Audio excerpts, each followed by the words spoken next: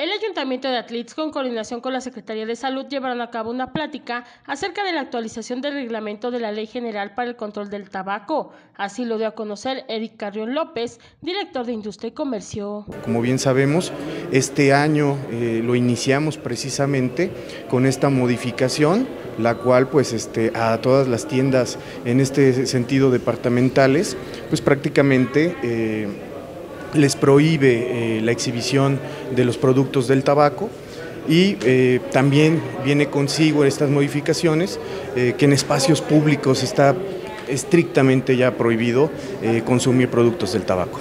Mencionó que hasta el momento tanto restaurantes como propietarios de pequeños negocios están respetando el reglamento que se dio a conocer.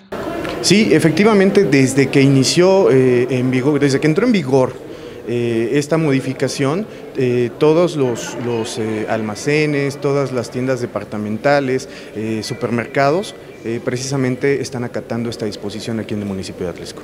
Finalmente dijo que esta es la segunda plática que se lleva a cabo en donde han tenido buena respuesta por parte de los habitantes. La maestra Marta Yanín Márquez, ella es maestra en salud pública, viene en representación de la Dirección de Protección contra Riesgos Sanitarios y pues precisamente viene a impartir esta plática a eh, propietarios y encargados eh, precisamente de lo que son tienditas, lo que son este, eh, mini supers, lo que son este, hoteles, moteles, y es importante recalcar y hacer de conocimiento de la sociedad que no es la primera plática de esta actualización del reglamento que se lleva, ya tuvimos una hace un mes aproximadamente, en la cual este, ya hoteleros, restauranteros y dueños de bares eh, tuvieron y tomaron esta actualización.